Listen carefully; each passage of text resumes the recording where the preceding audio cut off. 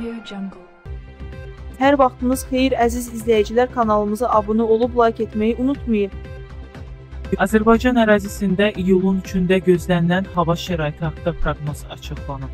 Bu barədə Ekologiya və Təbii Sərvətlər Nazirliyinin Milli Hidrometeorologiya Xidməti məlumat yayıb. Bildirilir ki, sabah Bakıda və Abşeron yarımadasında hava şəraitinin dəyişkən buludlu olacağı, arabir tutulacağı, əsasən yağmursuz keçəcəyi gözlənilir. Lakin gecə bəzi yerlərdə qısa müddətli az yağış yağacağı ehtimalı var.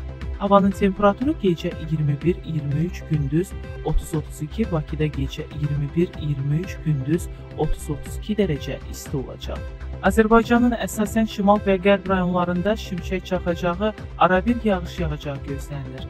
Havanın temperaturu gecə 18-23, gündüz 28-33 isti olacaq.